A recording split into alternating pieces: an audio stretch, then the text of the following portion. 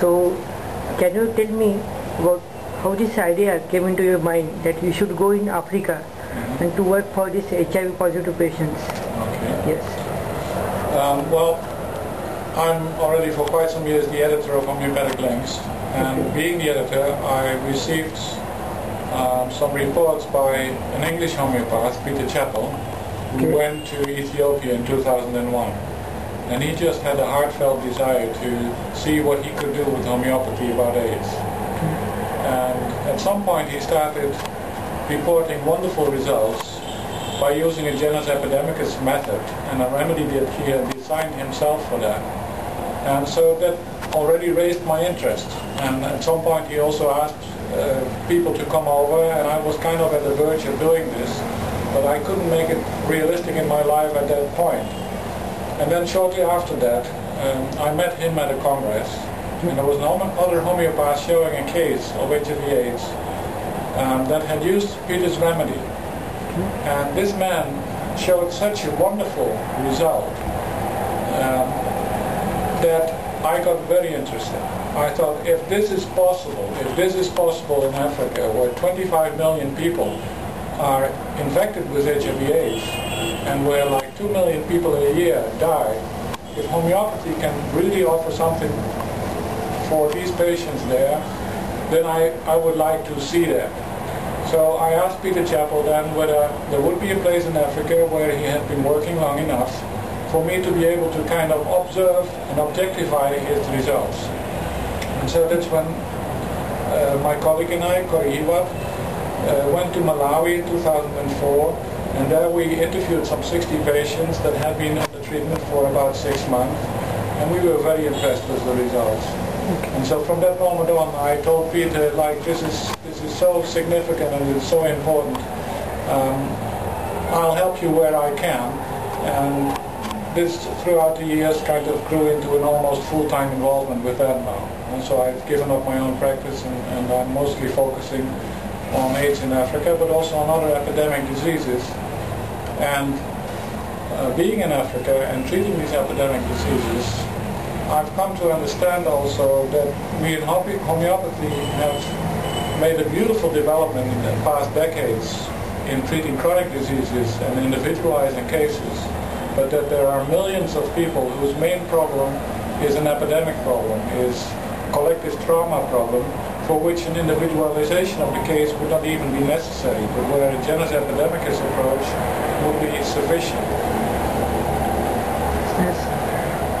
Uh, can you tell me that how this PC1 medicine can be proved an economical uh, tools for the suffering mankind, for the suffering HIV patients? Yes. How it can be proved, you say?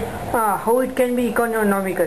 Because uh, I think you also know that the medicines available in the current modern medicine Yes. that is too much costly for the HIV Yeah, patients. yeah, yeah. But what's about the PC1? Okay. Yes. Well, the, and that's the ARVs that you're talking about. Yes, yes, and ARVs, usual right. ARVs are quite costly, Yes. although already a lot cheaper than they used to be like 10 years back. Yes. Uh, but certainly in Africa, the availability of them is still a big problem. The cost is a big problem. To distribute them, to preserve them is a problem.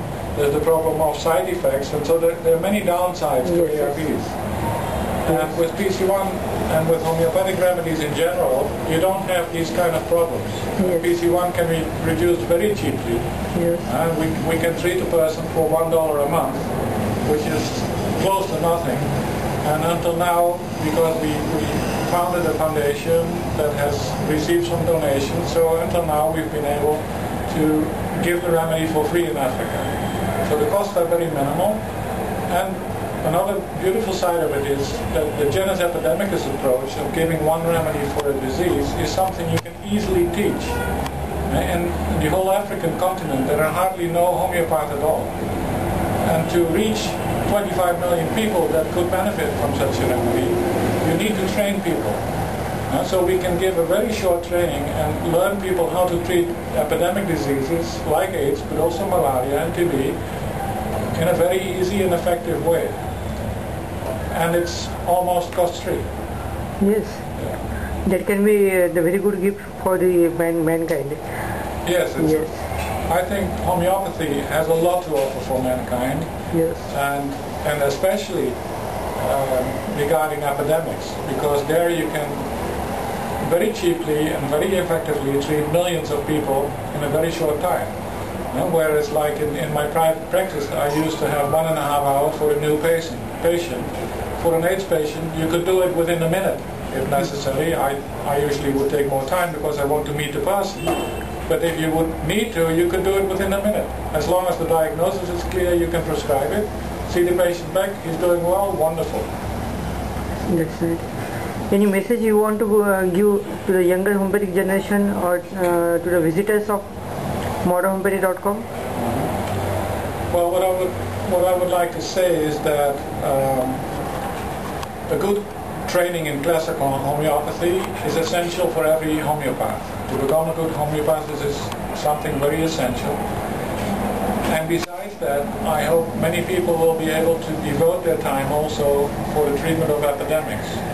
Because once an, a genus epidemicus remedy is known to be very effective, um, we can reduce the suffering for so many million people. Yes, yes. And I think this is one of the purposes, the higher purposes, if you want, of homeopathy to do this.